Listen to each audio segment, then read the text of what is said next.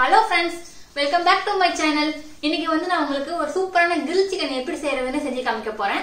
வாங்க எப்படி செய்யறதுன்னு பார்க்கலாம்.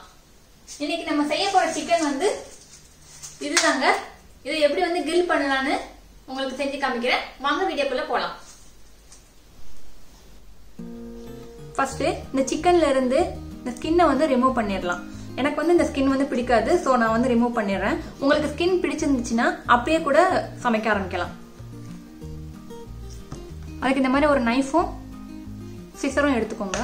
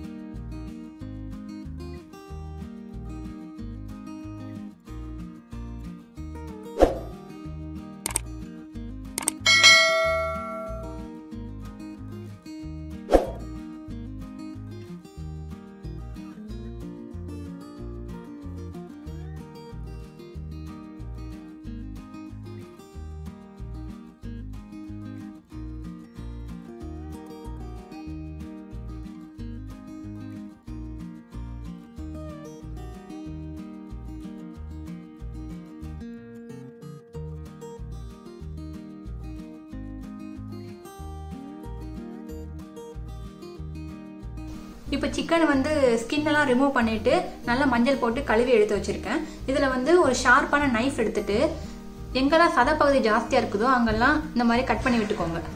அப்படின்னா தான் நம்ம போடுற மசாலா வந்து நல்லா உள்ளே இறங்கும் நல்லா ஜூஸியாக இருக்கும் சாப்பிடும்போது. இந்த உடம்புல கருவந்தம். இந்த லெக் லெக்கில்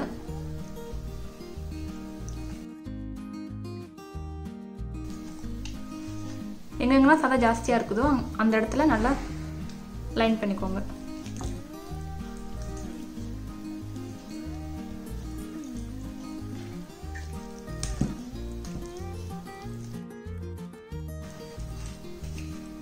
அவ்வளோதான் நெக்ஸ்ட்டு சில்லி பவுடர் கொஞ்சமாக எடுத்துட்டு நம்ம ஸ்லிட் போட்ட இடத்துலலாம் இந்த மாதிரி ஸ்ப்ரெட் பண்ணி விடுங்க. கொஞ்சமாக போட்டால் போதும். அதுலேயே லைம் ஜூஸ்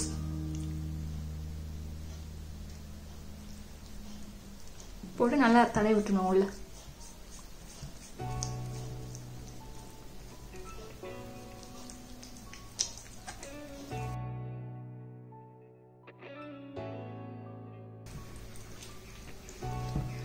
அவ்வளோதான் இதை வந்து ஒரு ஓரமாக எடுத்து வச்சுட்டு இதுக்கு வந்து ஒரு மசாலா பேஸ்ட் மாதிரி ரெடி பண்ணணும். அதை வந்து ரெடி பண்ணிக்கலாம்.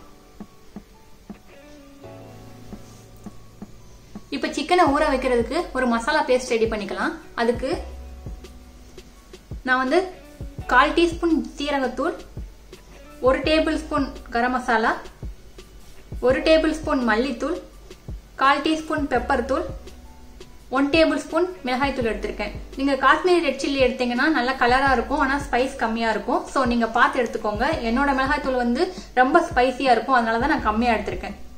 இந்த மசாலா எல்லாம் ஒரு பவுல்ல சேர்த்துக்கலாம். இதுல ஒரு ரெண்டு டேபிள் ஸ்பூன் அளவுக்கு இஞ்சி பூண்டு பேஸ்ட் எடுத்துக்கோங்க.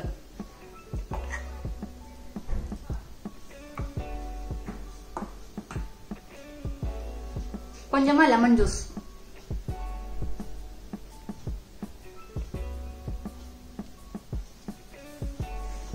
ஒரு ரெண்டு டேபிள் ஸ்பூன் அளவுக்கு தயிர். தயிர் வந்து தண்ணி இல்லாம நல்லா கெட்டியா இருந்தா நல்லா இருக்கும். தேவையான அளவு உப்பு சேர்த்துக்கோங்க.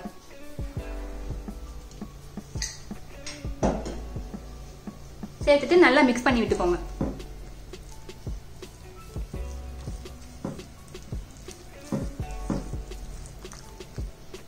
உப்பெல்லாம் நல்லா கரெக்டா இருந்தாதான் டேஸ்ட் வந்து நல்லா பர்ஃபெக்டா இருக்கும். நெக்ஸ்ட் நம்ம ரெடி பண்ணி வச்சிருக்கிற இந்த மசாலா பேஸ்ட்டை சிக்கன்ல எல்லா பக்கமும் படுற மாதிரி நல்லா அப்ளை பண்ணி விட்டுக்கோங்க.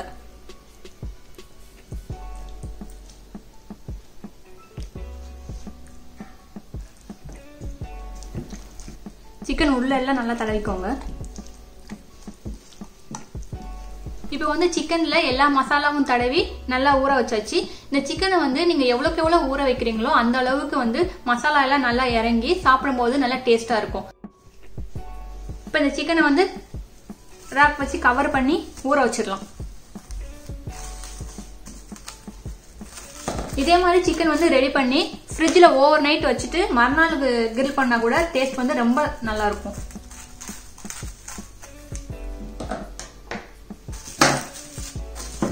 இப்போ வந்து இந்த சிக்கன் ஊறட்டும்.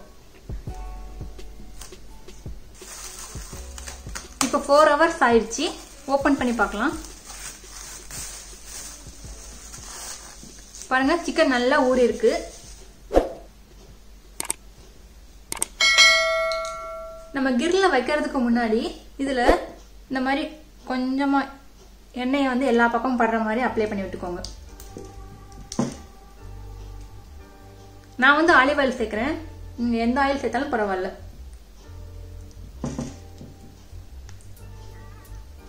கிரில்ல வச்சுட்டு உங்களுக்கு எப்படி வச்சிருக்கேன்னு காமிக்கிறேன். இந்த மாதிரி சிக்கன் வந்து பிளேஸ் பண்ணிட்டு நான் வந்து அடியில் வந்து ஒரு பிளேட் வச்சிருக்கேன். எதுக்குன்னா இங்க இருந்து எண்ணெய் அந்த மாதிரிலாம் வழியும். அதை கலெக்ட் பண்ணிட்டீங்கன்னா கடைசியில் அதை வந்து மேலே அப்ளை பண்ணீங்கன்னா டேஸ்ட் வந்து ரொம்ப நல்லா இருக்கும்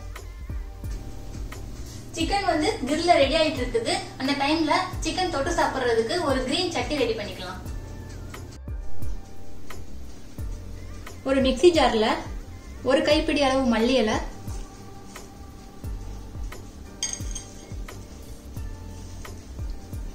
ஒரு கைப்பிடி அளவு புதினா.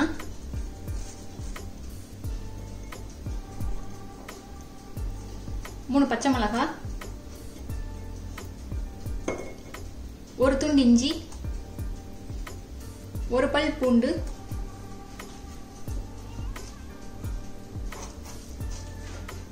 ஒரு கால் டீஸ்பூன் சீரகம்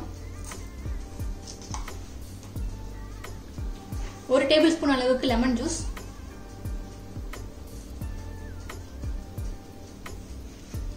ரெண்டு டேபிள் ஸ்பூன் தயிர்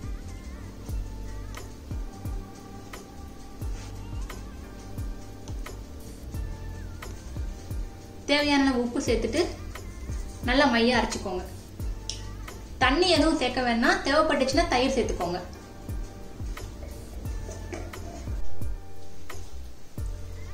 இப்ப சிக்கனை வந்து கிரில்ல இருந்து எடுத்தாச்சு. வாங்க எப்படி குக் ஆயிருக்குன்னு பார்க்கலாம். வாவ் நல்லா சூப்பரா குக் ஆயிருக்குதுங்க. இப்போ இதுக்கு மேல வந்துட்டு பட்டர் தடவிக்கலாம். பட்டர் இல்லைன்னா நான் வந்து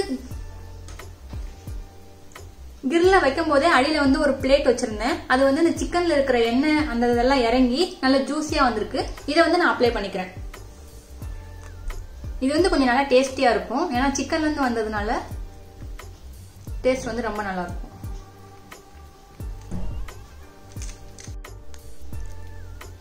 இப்போ சிக்கன் எப்படி இருக்குன்னு டேஸ்ட் பண்ணி பார்த்துடலாம்.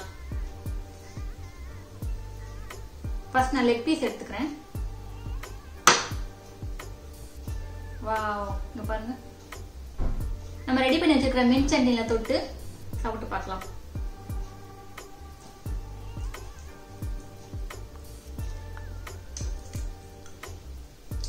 பாருங்க நல்லா வந்திருக்கு.